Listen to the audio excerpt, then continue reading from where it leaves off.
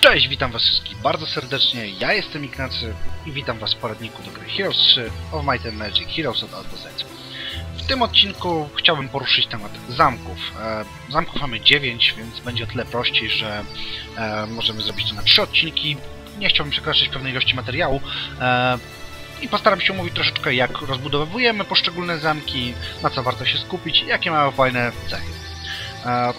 Jeszcze tak troszeczkę może w kwestii wyjaśnień. Bardzo przede wszystkim się cieszę za, za pozytywny odzew e, dotyczący mojego kanału. Jestem strasznie pozytywnie zaskoczony, że, że to tak do Was trafiło, że Wam się to podoba.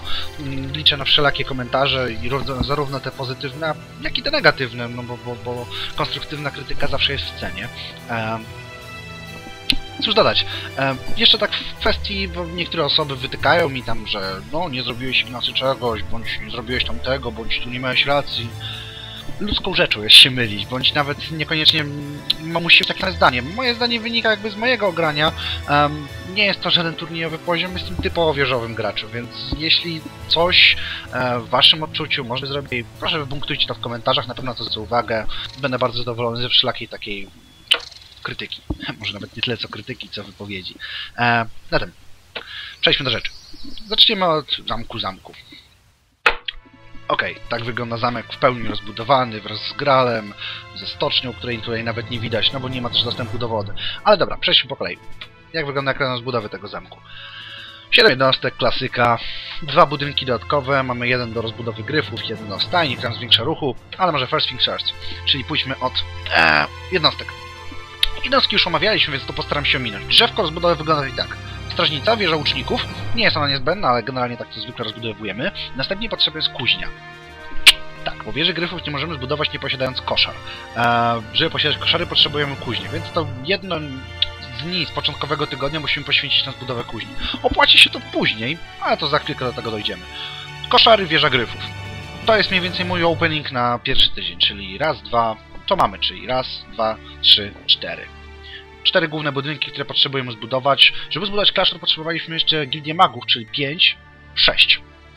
Dlaczego bardzo mi zależy, żeby było tych dni dwa dodatkowe, żeby mi zostały? No otóż to, że ja zwykle staram się w pierwszym tygodniu jednak budować cytadelę i zamek. Podwaja nam ilość produkowanych jednostek. Wiem, że są różne szkoły. Niektóre szkoły Heroesów zakładają, że powinno się cisnąć w kapitol w pierwszym tygodniu. Ja, może to jest błędne, ale uważam, że powinno się jednak zbudować troszeczkę tych jednostek, nawet jeśli nie będziemy mieli pieniędzy na zrekrutowanie ich, to mimo wszystko warto je mieć, żeby chociaż sobie stały. Nie zrekrutowane, bo nie zrekrutowane, ale niech będą. Więc dlaczego ta kuźnia się potem przydaje? No właśnie. Budujemy MacGuild jakoś w siódmego dnia. Możemy wtedy swobodnie zacząć tydzień od klasztoru, bądź magazynu zasoby, czy targowiska. Później mając już zamek, który wymusiło jakby moja taktyka budowania jak największej ilości jednostek, robimy szybciutko ratusz i kapitol. Oczywiście wszystko byłoby bardzo proste, e, gdyby starczyło na to surowców, tak? Na wieży już to może sprawić pewnego rodzaju problemy, na królówce również. Na koniu nie sądzę, że powinniśmy mieć problemy. Jeżeli chodzi o surowce, nazwy specjalne, czyli rtęć, e, siarka, kryształy i klejnoty, e, w zasadzie wymagane jest tylko tutaj do ulepszenia, później tutaj po jeden bądź dwa do wszystkiego. Arena walki wymaga sporo drewna, bo wymaga jeszcze stajni, która kosztuje 10 i chyba 20 pierwsza poziom areny walki kosztuje. Czyli łącznie tutaj potrzebujemy 30 drewna aż. I portal chwały, czyli 10 wszystkich tych specjalnych zasobów i 20 tysięcy złota. Tutaj widzicie ulepszenie ma również taki sam koszt. Co w tym zamku? Mamy jeszcze, jak zacząłem mówić już właśnie, że mamy stajnie, mamy bastion gryfów, zwiększa troszeczkę ich populację o 3 co tydzień. A, warto zauważyć, mamy jeszcze Bractwo Miecza. Plus 2 do morale w czasie obrony. Taka ulepszona karczma, bo sama karczma nam daje... O, nawet nie zobaczymy. Karczma sama nam chyba daje też plus 2. Ehm, Co z tym zamkiem? Fajnie by było w pierwszym tygodniu, jeżeli na przykład zaczniemy z wieżą łuczniczą, em, mamy większe szanse, bo zobaczcie, wtedy wygląda tak. Pier jeden, mamy wieżę łuczniczą zbudowaną pierwszego dnia. Czasami jest tak, że losowo komputer czasami da nam budynek drugiego poziomu. Zbudujemy wtedy kuźnię, koszary, wieże gryfów, to już są 3 dni, Gildia Magów 4, Klasztor 5, 6, 7. Jeżeli zaczynamy z wieżą łuczniczą, mamy naprawdę mocny start i tylko się uśmiechnąć. E, bo wtedy skończymy z piątopoziomową jednostką w pierwszym tygodniu z podwojoną rekrutacją, co nam daje sporą przewagę w pierwszym tygodniu. Nawet jeżeli tego nie wyrekrutujemy, to mimo wszystko to już jest i na późniejszą grę będzie nam zawsze bardzo przydatne. I przede wszystkim odstawiamy innych przeciwników już w tyle, bo te jednostki kiedyś prędzej czy później będą.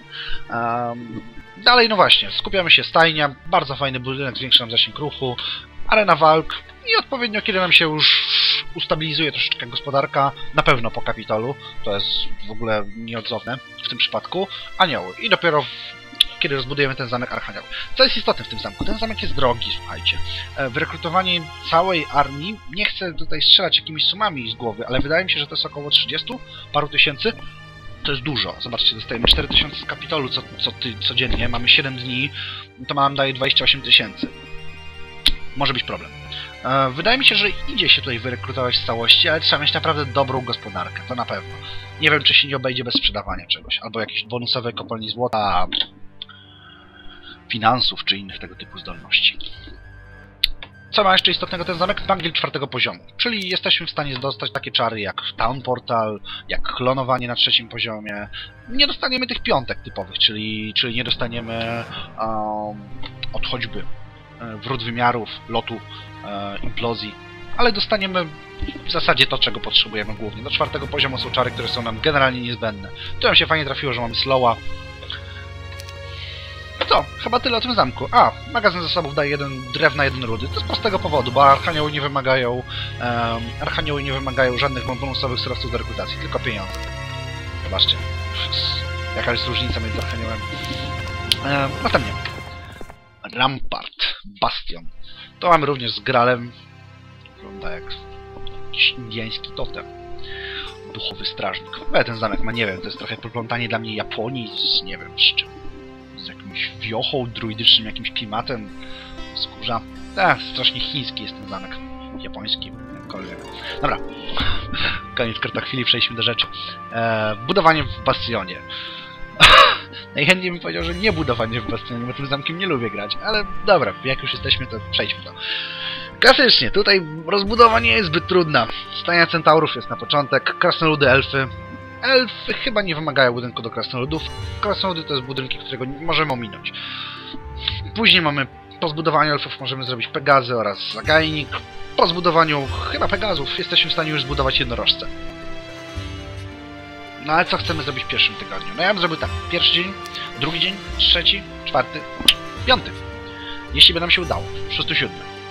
Pamiętajmy, że gospodarstwo na pierwszym poziomie kosztuje już 15 drewna. To jest dosyć dużo. 15 albo 20. Nie upewniłem się, to mój błąd. Um, ale jest już drogim budynkiem. W Bastionie warto uważać na drewno. Sporo tutaj budynków wymaga drewna. Tak, warto dodać, że to wymaga chyba 10 kryształów na początek, tych czerwonych, albo 5, e, więc to też trzeba mieć w głowie. Zagajnik, o dziwo, nie wymaga niczego więcej poza pieniędzmi. E, ulepszenie, chyba podstawa wymaga drewna. Jednorożce wymaga odrobinka klejnosików. E, co tu się warto skupić? No w tym zamku fajnie by było mieć troszeczkę tego elfa, więc możliwe powinniśmy go szanować od początku gry, starać się, żeby nie zbierał strat. No i jednoroga do tego poziomu mniej więcej. Później, no wiadomo, smok. Smok jak najszybciej, drugi poziom gildy jest wymagany, żeby zrobić pierwszy budynek do smoków, trzeci, żeby zrobić następny. Ehm, co dalej z budynków? No zagajnik, zwiększamy produkcję entów, hu hu hu. E, Gildia górnicza, produkcję krasnoludów, hu hu hu. Skarbiec, ciekawa rzecz.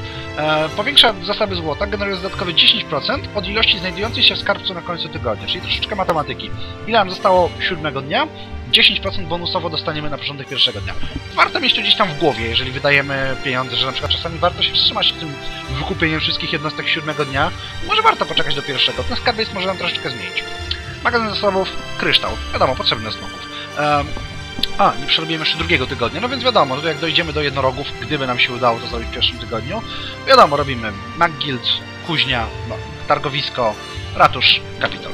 Nie będę oryginalny, taka jest mniej więcej moja taktyka na granie.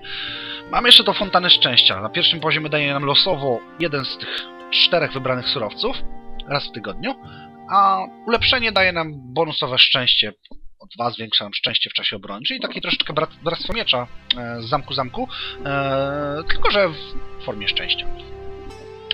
Co do tego zamku? On stosunkowo jest tani, jeżeli chodzi o rekrutację. Smog bywa drogi, e, ale jeżeli już wybudujemy go w większości, to nie powinien sprawiać problemu. Zwłaszcza skarby, z którym troszeczkę ładnie może podpompować dochody. Ogólną ceną tego zamku, jeżeli chodzi o rozbudowę, nie jest to trudne. Na pewno nie idzie się zabić, jeżeli to robimy. Ale tak jak mówiłem, nie jest to mój faworyt. Przejdźmy jeszcze do fortecy.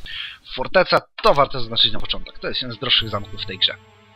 Um, po kolei. Zaczynamy z gremlinami, zwykle. Możemy zacząć też e, z gargulcami. E, zależy. Musimy, możemy zbudować gargulce. Następnie fabryka golemów, to jest drugi budynek. I żeby zbudować magów, co trzeba do magów? No, bierze magów, nie? Czyli raz, dwa, trzy, cztery. No i tu mamy ten wybór. Bo po zbudowaniu wieży magów otwieram się jednocześnie ołtarz życzeń, jednocześnie złoty pawilon. Jeśli nasza gospodarka w tym momencie jest bardzo dobra, warto postawić jednak na te nagi. Będą drogie, przez długi czas ich nie wyrekrutujemy, ale na pewno się zwrócą. Na pewno. Drugi tydzień, no fajnie dokończyć ołtarz życzeń i możliwie można się pokusić nawet o szybką świątynię obłoków pierwszego poziomu. Pierwsza świątynia obłoków, nieulepszona, kosztuje 5000 zł i 20 kryształów, klejnotów, przepraszam. Nie jest wcale dużo, a zawsze nam zostawia możliwość, że już mamy za giganty, kiedyś prędzej czy... Zobaczcie ile kosztuje to ulepszenie. 30 klejnotów i 25 tysięcy złota. Wow, przy samej rekrutacji, która już jest bardzo droga, to... Hm. Dosyć ciężko to zrobić. Um, z budynków, sprawca artefaktów, bardzo fajna rzecz, bardzo warto zainwestować przy chwili okazji. Wieża strażnicza, to jest tak jakbyśmy mieli strażnicę na koło zamku, odsłania nam jakąś tam okolicę. Nic specjalnego w moim odczuciu. Skoro twórców, cztery gargulce więcej, hu hu hu. E, ściana wiedzy, plus jeden do wiedzy, bohatera odwiedzającego, wymaga Magildu. Biblioteka również wymaga Magildu. Daje nam dodatkowe jedno zaklęcie. No jak to wygląda? No tak, że... O, zobaczcie, jeżeli wejdziemy, przepraszam, w Gildię Magów, mamy to jedno bonusowe zaklęcie w każdym z tych miejsc. Czasami może być przydatne, zawsze zwiększam szanse na dostanie tego czaru, którego poszukujemy. Ogólnie dobre, ogólnie dobre. A co poza tym, no właśnie, jak już pokazałem wam tu rozbudowę, na przykład warto zrobić ołtarz życzeń, świątynię obłoków, szybko pocisnąć kapitol. Zależy, forteca będzie ciężko, jest to drogi zamek, tak jak zaznaczyłem na początku. Tutaj pieniądze grają sporą rolę przy tym zamku. Warto, nie obejdzie się chyba bez kopalni złota, żeby swobodnie móc się wyrekrutowywać co tydzień. Um, Poza tym, no co, magazyn zestawów dostarczający klejnot, których klejnotów będziemy potrzebowali na gwałt. Nie sprzedawajcie ich, broń Boże, bo będą bardzo przydatne. To chyba tyle. To chyba tyle, jeśli chodzi o ten zamek. Tak mi się wydaje. Chyba tyle, jeśli chodzi o ten odcinek. Także dziękuję Wam bardzo serdecznie za uwagę. Czekam na komentarze, na odzew z Waszej strony i zapraszam Was do oglądania kolejnych odcinków. Trzymajcie się ciepło. Cześć.